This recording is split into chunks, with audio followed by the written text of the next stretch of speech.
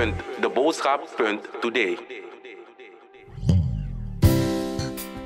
Spoedherregistratieprocedure repatriëring naar Suriname.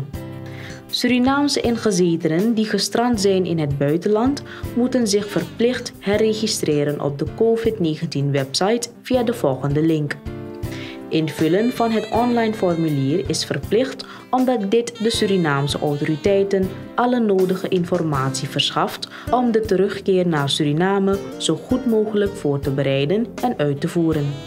Het volledig bericht kunt u lezen op www.deboodschap.today. www.deboodschap.today.